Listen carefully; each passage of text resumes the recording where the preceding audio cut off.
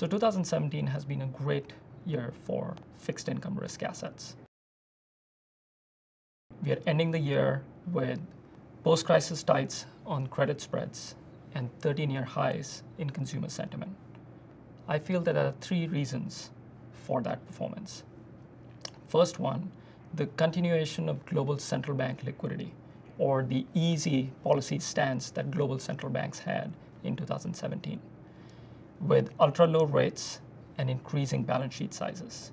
What that did in 2017 was suppress financial market volatility and in turn entice more appetite for risk assets. Second, this is the first time since the financial crisis that we are seeing a broad-based global synchronized growth across the developed as well as the emerging markets. And the third reason is benign inflation. We've not seen the high inflation which equates to higher yields, which will equate to lower performance from fixed income assets. In 2018, we will see the normal course of a cycle play out, where you see a strong growth, pick up in inflation, will push the central banks to pull back on their accommodative monetary stance. We believe that we have seen the, the peak of accommodation from global central banks.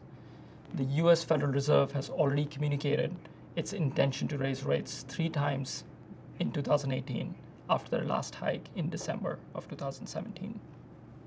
They're also on a scheduled path to reduce their balance sheet for the next five years.